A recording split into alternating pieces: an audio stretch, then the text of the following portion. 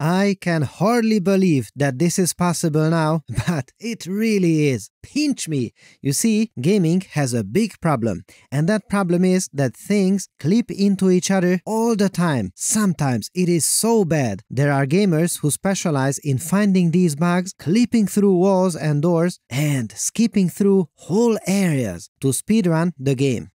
yes, the only people who love clipping more than barbers are speedrunners. And surprisingly, the same problem shows up in movies too. But you usually don't notice it because VFX artists spend weeks, if not months, fixing those by hand before the movie is released. Studios throw huge compute farms and armies of technical directors at it just to make sure that Superman's cape doesn't pass through his neck halfway through the shot.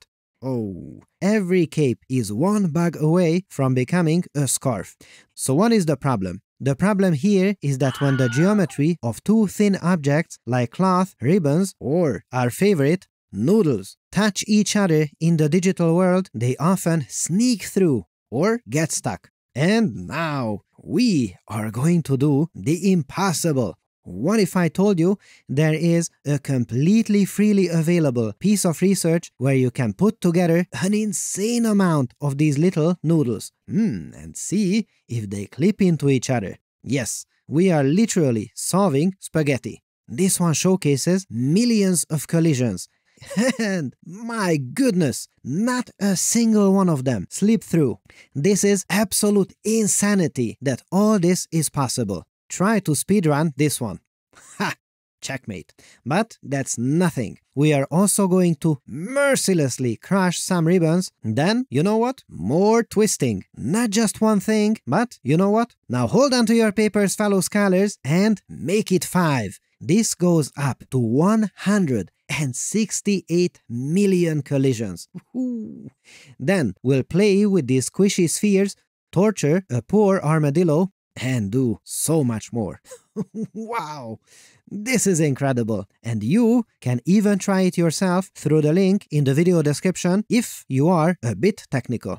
Plus, I got you a huge surprise at the end. I found something I never expected. So, how the heck is all this possible? Well, the research paper tells us exactly, but it's written for the very best experts in the world.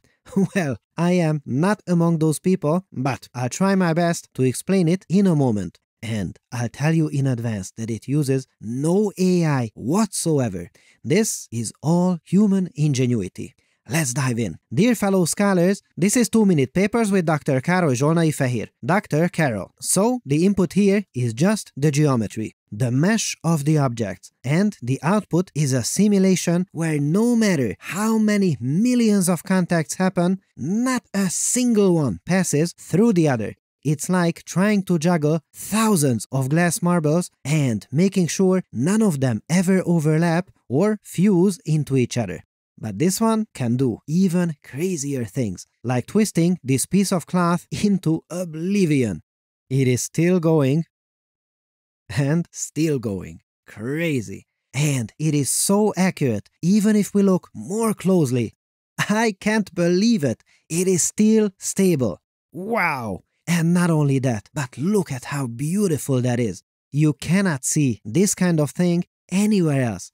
So at this point, I am dying to know how does this technique do this incredible magic? Well, two things. One, instead of using the old logarithmic barrier trick, which panics and freezes when objects get very close, this new method uses a cubic barrier. So, what does that mean? Well, instead of slamming the brakes when two surfaces are about to touch, like the old logarithmic method, this new system eases into the collision with a smoother force curve. Imagine our spaghetti bowl again, and instead of waiting until two noodles are fused and then yanking them apart, instead it creates a little elastic bubble between them that dynamically adjusts, so they slide past each other gracefully. It's like adding soap to the spaghetti water. Suddenly, everything untangles itself. And 2. The paper says that it uses a 3x3 Jacobi block preconditioned conjugate gradient method. that sounds crazy. So, what is that? Let me try to explain. This is a way to efficiently solve the massive mathematical equations that describe all these forces and movements. Think of it like coordinating a huge multi-person dance routine where everyone has to avoid bumping into each other. A regular method would try to tell every single dancer exactly where to move all at once, which is chaos. But the 3x3 Jacobi block part means we break the dance floor into small groups of 3x3 dancers and tell each group what to do independently.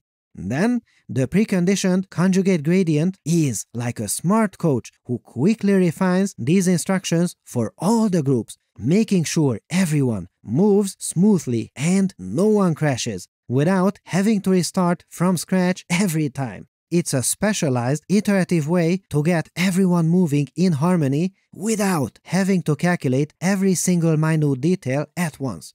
A really technical paper explained in simple words anyone can understand. Now, wait a second. We are wise fellow scholars here, so we remember the Offset Geometric Contact paper, OGC. It did something similar. So, how does it relate to that? Okay, you are going to love this one. The OGC technique was a big step forward because it added a tiny offset layer around objects like wrapping everything in bubble wrap so they don't pass through each other. Of course, the trick worked really well for many cases, but when the gaps get extremely tiny, like many of these tough cases, OGC still struggles, especially with thin shells or when millions of contacts happen at once.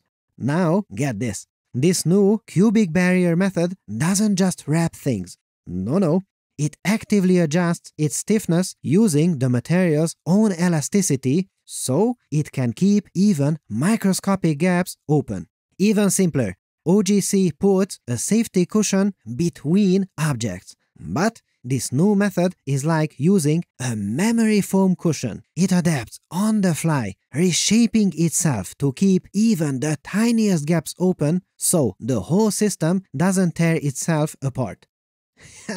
Genius! And I absolutely love that all this runs on not a huge data center somewhere. No, it is just one graphics card, the thing that I rent one of at Lambda.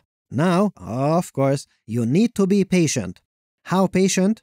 Well, not seconds per frame, but minutes per frame patient. And it gives me great joy that this research is a one author, yes, a one author paper so, who is that incredible scientist?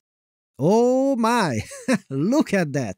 It's our man, Dr. Ryoichi Ando, who created these super cool adaptive fluid simulations before, where computation was concentrated around parts where the action really happens.